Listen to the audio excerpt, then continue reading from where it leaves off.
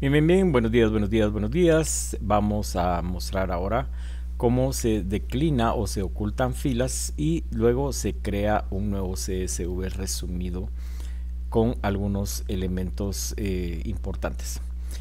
Primero tenemos nuestra instrucción para abrir el archivo data 0.csv que contiene mil registros. Luego mostramos los nombres de la columna de columna o decir los campos y luego mostramos cantidades de filas por campo. El sistema nos muestra que tenemos seis columnas originalmente. En total el sistema nos indica que tenemos mil filas o mil registros en este documento. Ahora refrescamos, ahora refrescamos lo que hace nuestro programa. En primer lugar, crear una columna que se llama descuento. Ya eh, explicamos este proceso en el video anterior. Y luego creamos una columna llamada líquido. Estas dos columnas son virtuales, se crean al vuelo. No existen en el CSV original, sino solamente en el data frame o contenedor.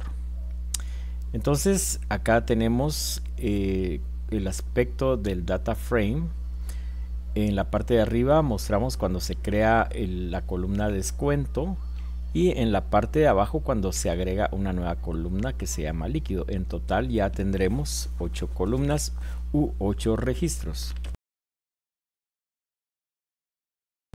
El objetivo de nuestro experimento es crear un nuevo CSV, pero en este caso no solamente excluyendo columnas, sino que también excluyendo ciertas filas.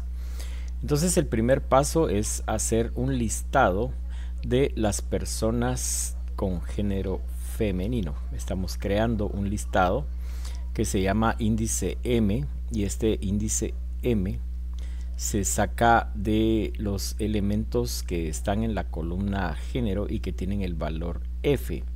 Y aquí tenemos una, una función llamada index que lo que hace es sacar los valores del índice y trasladarlos a esa nueva lista llamada índice M. Adicionalmente podremos imprimir el índice M para observar cuál es su contenido. Adelantándonos un poquito, queremos saber qué es lo que hay en esa nueva lista tomada desde los valores del índice. Y podemos observar que efectivamente es una lista donde hay 466 registros de tipo entero y aparece el registro 1, el 2, el 3 no aparece, el 4, es decir, es una lista de valores discontinuos, pero es esencialmente una lista. Esto es lo que hace esta parte de la rutina. Regresando a nuestro programa, después de haber hecho esa lista, vamos a tomar esa lista y pedirle al data frame original que oculte todos los valores de índice que están en esa lista. Y aquí hay un parámetro que dice inplace igual true. Esto ya es un poco más complicado y a partir de esto vamos a imprimir la cabecera del nuevo del data frame. Pero vamos a ver primero cuál es el efecto del parámetro inplace igual true. Y el parámetro inplace lo que hace es eh, actuar como un interruptor para activar eh, la actualización del data frame, sí o no. Si el valor in place es igual a falso, el data frame no se actualiza. Esto lo veremos más adelante porque requiere un poco más de atención. Si el parámetro in place está asignado con el valor true, entonces el data frame sí se va a actualizar. Esto es lo que sucede en este caso. Quiere decir que el nuevo data frame ya no va a mostrar los valores que tengan eh, como género F. El efecto de estas dos rutinas es el siguiente. Cuando creamos la lista con valores a excluir del índice, eh, tenemos la lista precisamente de 466 términos. Y cuando ya tenemos el data frame actualizado después de haber aplicado el parámetro in place igual true, vamos a ver efectivamente que siempre que vayamos a recurrir al data frame original no van a aparecer los elementos del índice que ya fueron excluidos Esa es la idea de ese, de ese parámetro in place.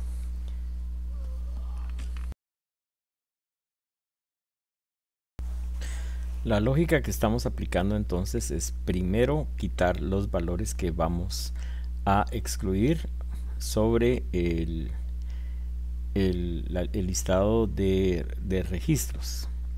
Y después vamos a reducir aún más en la cantidad de filas que vamos a mostrar en un nuevo data frame en este caso se va a llamar descuentos esto quiere decir descuentos data frame M que es eh, los eh, empleados de, género masculino entonces lo que la rutina que vamos a hacer es, eh, acá entonces es que a ese nuevo data frame vamos a tomar el data frame original donde vamos a, a, ocultar las columnas actividad, salario y descuento. Fíjense que en este caso no vamos a ocultar la columna género para mostrar efectivamente el, efecto que solamente quedaron los empleados de género masculino. El parámetro axis igual a 1 quiere decir que esta, este ocultamiento eh, se aplica sobre los valores de las columnas o campos. Luego el data frame resumido es mostrado por nuestro programa Recordemos que DataFrame es una construcción virtual, está solamente en memoria, en memoria RAM. Y aquí podemos ver en el extremo izquierdo el índice en el cual hay valores que no están presentes, son los valores que tenían género femenino y solamente nos quedan los valores que tienen género masculino.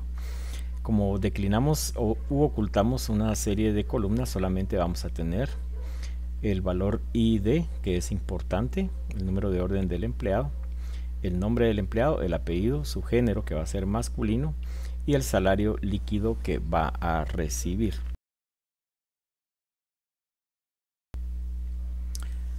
La última rutina de nuestro programa consiste en crear un nuevo archivo CSV, no utilizando el data frame original, sino el data frame resumido donde ya no aparecen los registros de género femenino y ya no aparecen ciertas columnas.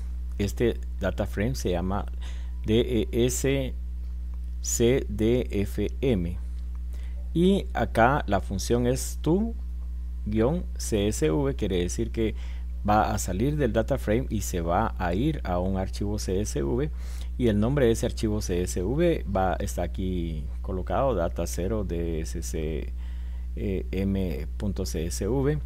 La codificación de ese archivo, como es un archivo de texto al final de, de valores separados por comas, va a ser UTF-8. Hay varios tipos de codificaciones acá. Y el índice igual false quiere decir que no vamos a incluir en ese nuevo archivo el índice que eh, tiene en este data frame en forma virtual en el, en el, en el intérprete de Python. Nuestro programa nos manda un mensaje que dice que está creando el archivo CSV con descuentos de empleados varones. Y luego cuando vamos al directorio o folder donde eh, debería estar, vamos a ver que efectivamente ahí aparece un nuevo archivo. Y este nuevo archivo es el CSV con empleados varones y tenemos el archivo CSV original. Entonces eh, podemos observar que el CSV original tiene los seis campos completos mientras que el CSV de empleados varones adicionalmente a que tiene menos campos también tiene en el campo de género solo aparecen personas con sexo masculino o género masculino. Y para finalizar tenemos pues la, vista de, del documento archivo CSV, pero esta vez mostrado en forma de tabla por un lector de hojas de cálculo. Y podemos ver efectivamente que aparece todos los campos que seleccionamos y solamente los empleados de género masculino. Gracias y nos vemos en la próxima entrega.